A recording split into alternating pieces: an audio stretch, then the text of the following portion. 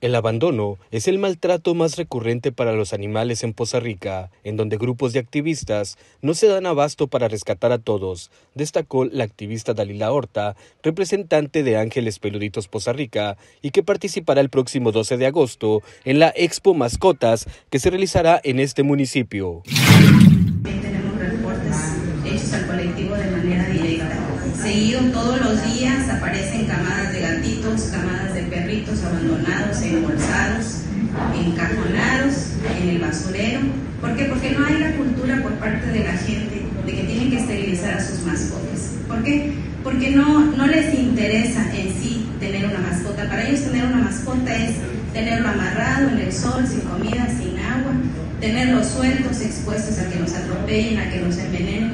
Y a ellos les da igual de que cada seis meses las perritas estén teniendo cachorros, que cada dos meses los gatitos estén teniendo gatitos. ¿Se imaginan ustedes cómo se multiplican los animalitos? ¿Y qué pasa con esos animalitos de esos poseedores irresponsables? Van a dar a la calle. La Expo Mascotas se llevará a cabo el próximo sábado a las 17 horas en las instalaciones del Estadio 18 de marzo. Para el Corporativo Imagen del Golfo, Misael Olmedo.